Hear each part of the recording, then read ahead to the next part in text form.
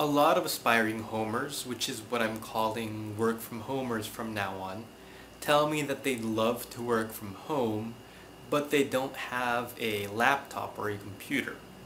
So being a tech geek myself, I decided to create a guide for budget laptops that you can use to become a homer. And you can use the laptop for other things too. I don't need to know the details of what else you're going to do. Okay, I'll briefly talk about the spec requirements and then give you my recommendations. If you just want to see my recommendations, you can just click on the links down below, scroll down, click on those. Um, but first things first, make sure that you're using a Windows computer. You won't get a usable Mac under 12,000 and any other operating system will just cause you more problems than will help you like Android or other OSs. Oh, and if you're a Linux user, you shouldn't even be watching this video in the first place. You should know more about computers. Okay, there are a few things important in a budget laptop. Um, in order of importance, first of all, RAM. Second, CPU. Third is the keyboard and the touchpad. Fourth, disk space. And fifth is the size. You might wonder why disk space is so low on my list.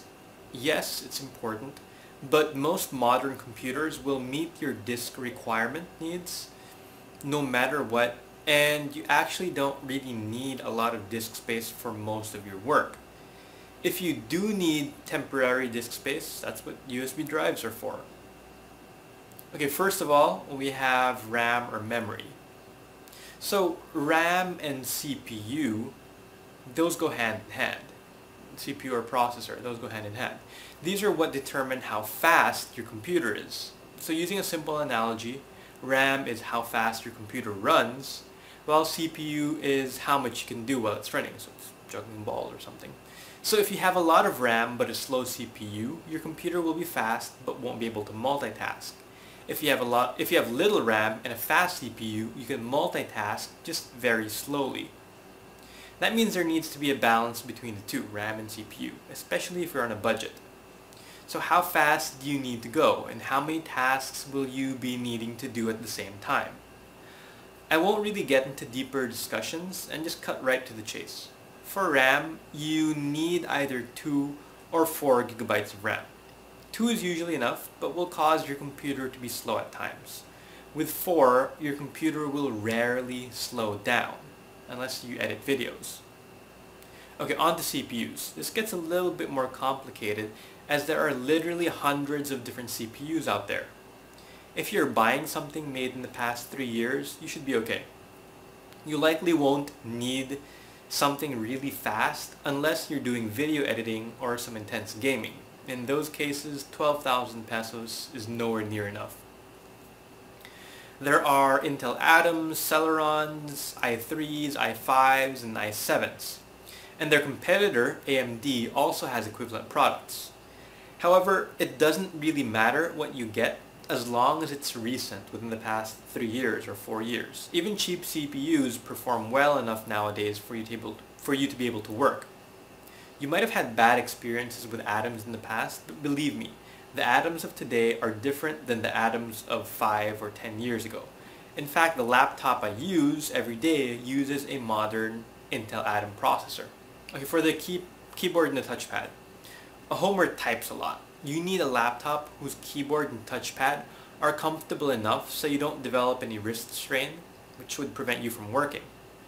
And actually this usually goes hand in hand with screen size. So the bigger your laptop, the bigger and more comfortable your keyboard would be.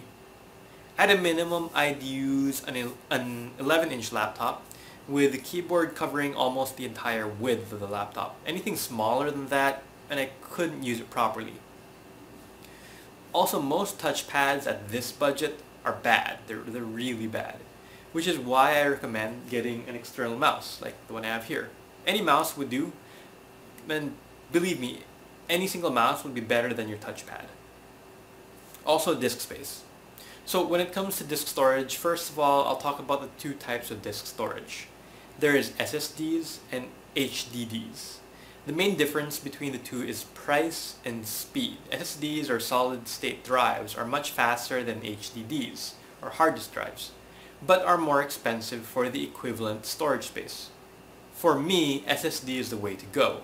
You don't really need a lot of space on your computer to get work done, and the speed difference is worth it.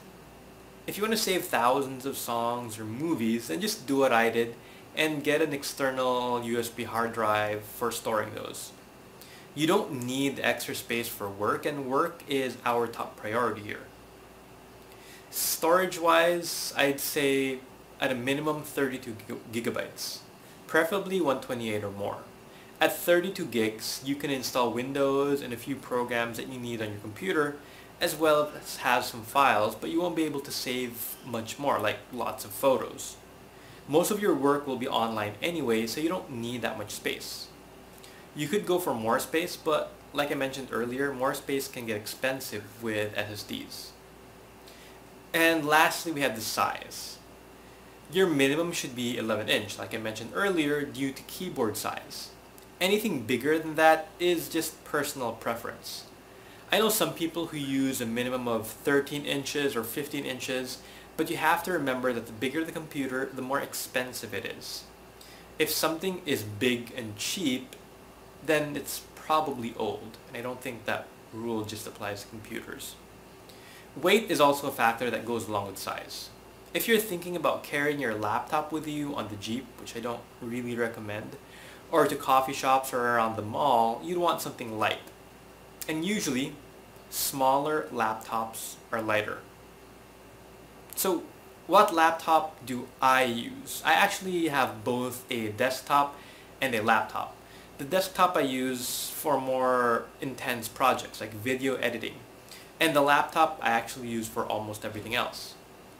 Unfortunately, the laptop I use can't be purchased in the Philippines, but I got it for around $250, which is right around 12500 It's this. It's the 11-inch Acer C720 with the Atom quad-core processor, 4 gigabytes of RAM, and 128 gigabytes of storage. It's not the most powerful laptop available, but I can do everything I need with it, include edit videos and pictures sometimes. However, it runs slows when I try to edit videos, which is why I use my desktop for that.